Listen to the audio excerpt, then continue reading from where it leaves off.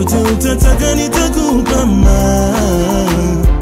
Hey guys, welcome back to our channel. It's your girl Fanny Lungu back with another reaction video. If you're new to this channel, make sure to give this video a thumbs up, share it with your friends, and of course, do not forget to subscribe. Today I'm going to be reacting to this video. A big shout out to the person that suggested this. is going to be in two titles, and today I am reacting to If You Can't Give Me Answer, I Will Be a Muslim, Jenny. So without wasting time, let's get into the video. I was born in Canada, um, as were my parents. Uh, we all grew up in Western British Columbia. Um, my father is a police officer for the RCMP, it's the Canadian Royal Mounted Police, and, the, and my mom is a nurse. So I studied uh, American Sign Language interpretation at university. Um, I wanted to become a sign language interpreter for the deaf. My university career was done in Winnipeg. I worked as an interpreter for a little while. Uh, and then before I moved to Turkey, I got my teaching certificate, um, and now I'm an English teacher. So I grew up in northern BC, uh, a fairly small city, lots of outdoor activities and wilderness. Um, spent a lot of time kind of in nature and going camping and whatnot.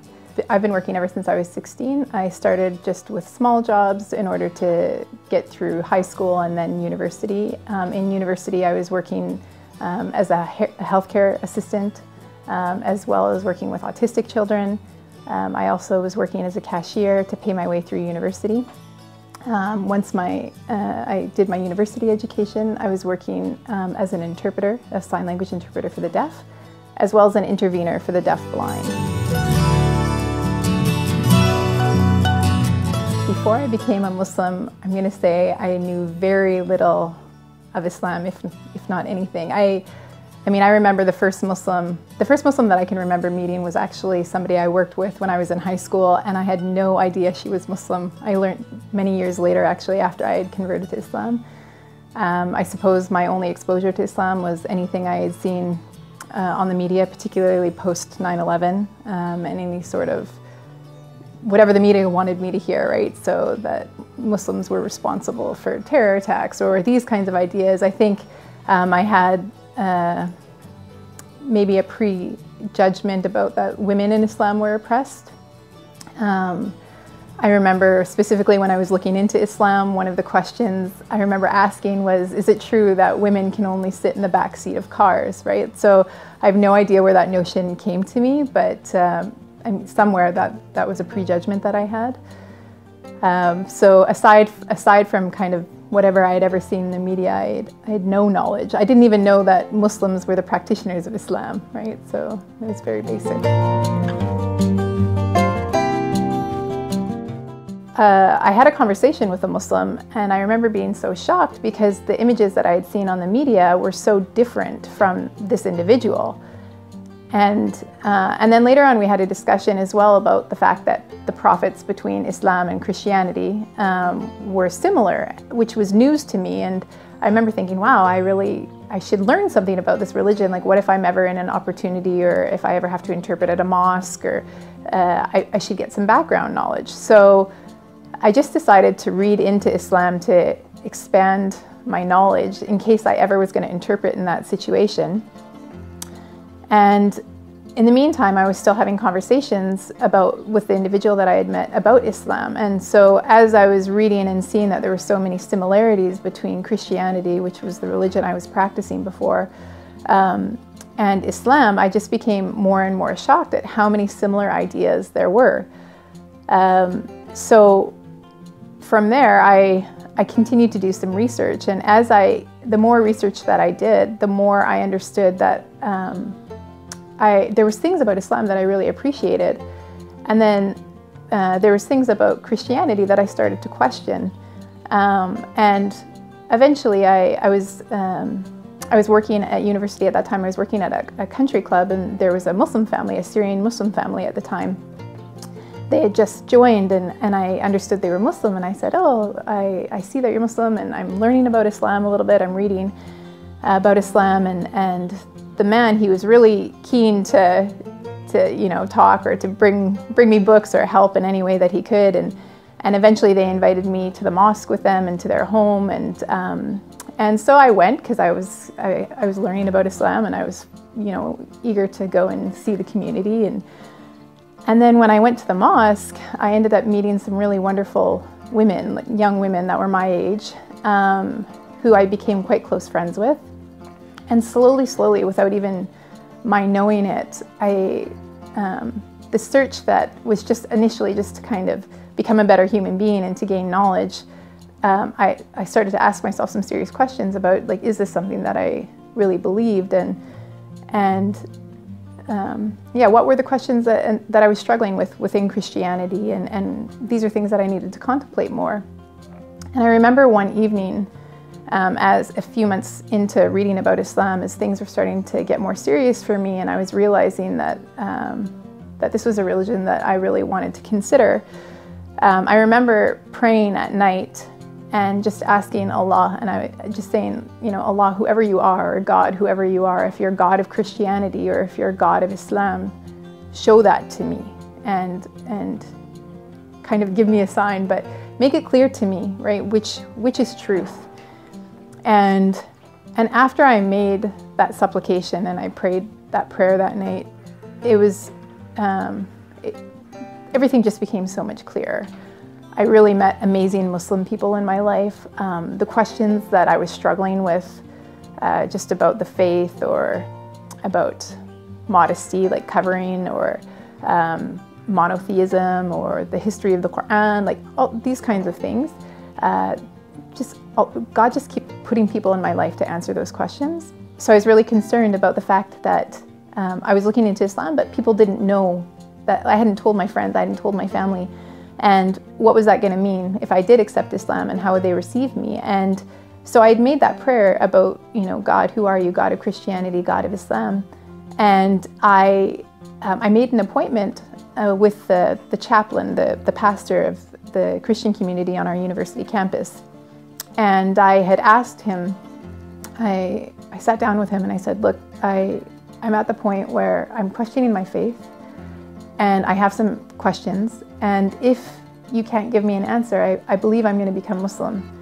And a lot of the questions, uh, particularly, were with um, the Bible, actually, and how the Bible was selected, and how the books of the Bible were selected, and the can- like the canonicity of the Bible, and and um, in the and why wasn't the original Bible in existence, and um, why was there such discrepancy between the different versions of the Bible? And um, whereas the Quran um, has been preserved for 1400 years, and and that was something that was really significant for me because, I mean, God, even in Christianity, God says like He will protect His word, and there was the Quran that was the message of God that even if it was physically destroyed, um, it would be protected because so many people have memorized it and the original is still in existence. And and then here was the Bible that there was no original, and within the versions there were so many, you know, interpretations. And um, and so I sat down with this pastor and I, I asked these questions, and he couldn't he couldn't give me any answer. And and he said, you know, in the end, you just have to believe, and that's what faith is, and you just have to believe. And um, and that that was a struggle for me. That didn't feel right because I felt surely, um, surely religion and belief, it's more than just like a hunch or it's more than a feeling or it's more than an idea. Like I, I wanted something that felt more concrete. And the same weekend at my university, there was a conference that had been put on by the local Muslim Student Association, and they brought in a speaker from England. Um, and I just remember walking in that weekend, and all of the youth were there, all of you know, all of these students, and everybody wanted to meet him. He was quite popular at the time and um, and everybody wanted to talk to him and spend time with him. And I walked up to him, and he he just sat and answered all of my questions. And uh, I just remember thinking, wow, like uh, I went to this pastor and I had these questions, and he he couldn't give me his answers. He couldn't be clear to me. And then this man who everybody wants to speak with um, he dedicated hours, literally hours of his time to just sit there and to answer my questions.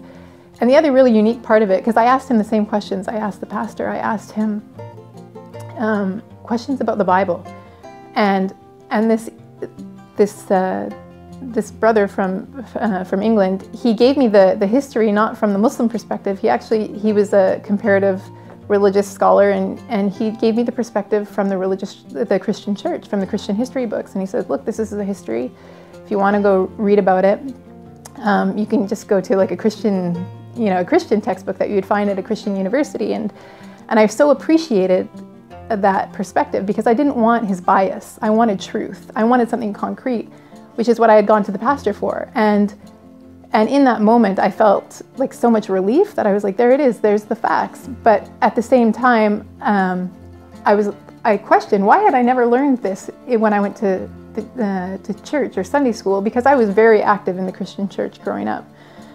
And um, anyway, so at the end of the evening, he asked me. He said, "You know, do you believe in Allah?" And I said, "Yeah, like I've always believed in God. That's no problem. The concept of God is has never been an issue." And then he said, "Do you believe?"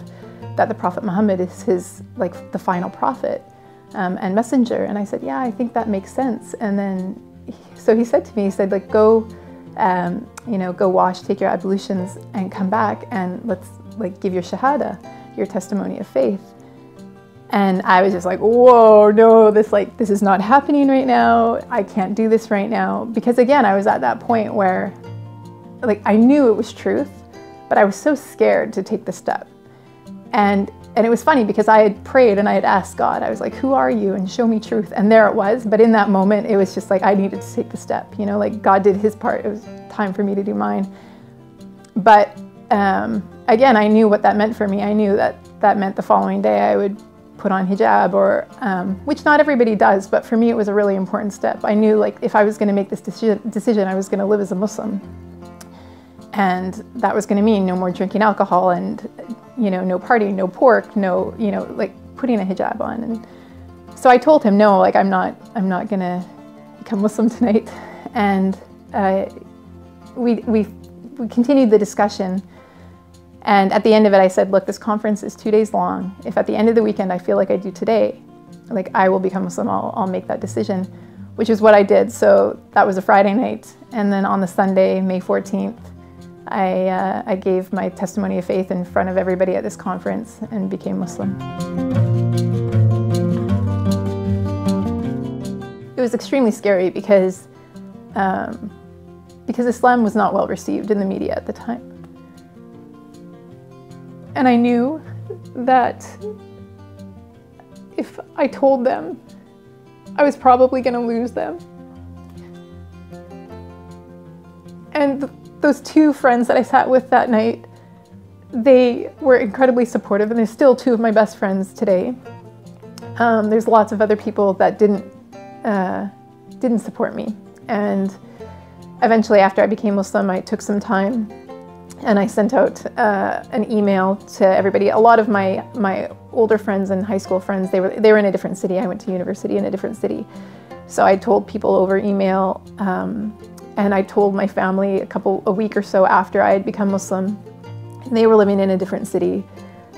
And of course it was difficult because uh, they, they didn't know what to expect. It was really scary for them, right? They, um, they didn't know what I was going to look like or what did that mean, and they didn't see the process. They hadn't seen me looking into things. They, um, they didn't know the Muslim community.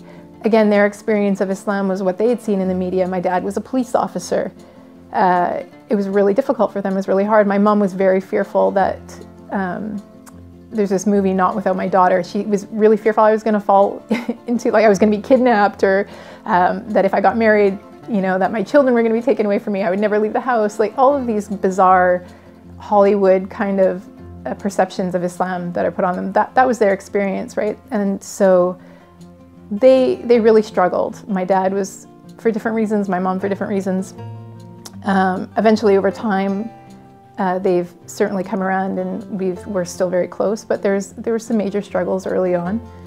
Um,